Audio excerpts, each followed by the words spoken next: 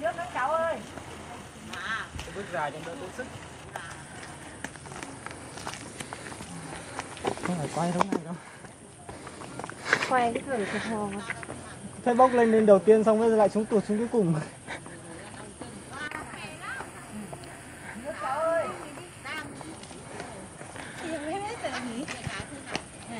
không có hiện tượng